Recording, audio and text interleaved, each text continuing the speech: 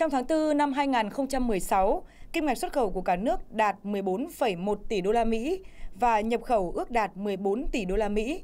Như vậy, trong tháng 4, Việt Nam xuất siêu 100 triệu đô la Mỹ.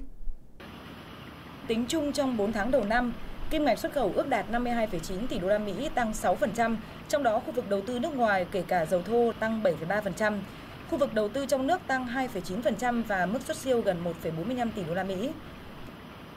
Đối với hoạt động nhập khẩu, kim ngạch nhập khẩu tháng 4 giảm 3,4% tương đương với 493 triệu đô la Mỹ. Trong đó, khu vực đầu tư nước ngoài đạt 8,2 tỷ đô la Mỹ, giảm 6%, tương đương với 519 triệu đô la Mỹ. Khu vực đầu tư trong nước tăng nhẹ với 0,4%. Tính chung 4 tháng đầu năm so với cùng kỳ năm trước, kim ngạch nhập khẩu ước đạt 51,4 tỷ đô la Mỹ, giảm 1,2% so với cùng kỳ năm 2015.